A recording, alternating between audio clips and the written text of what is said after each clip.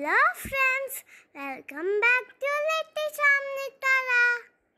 Today I am going to speak few lines on my mother. My mother name is Sweta. She is the most important person in my life. She is my first teacher, friend and guide.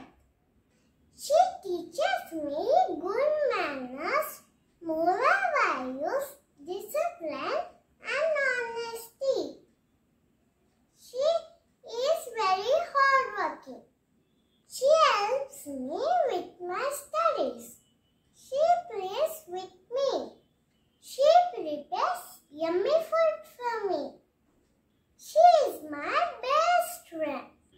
I love my mother very much. Happy Mother's Day to all the mothers.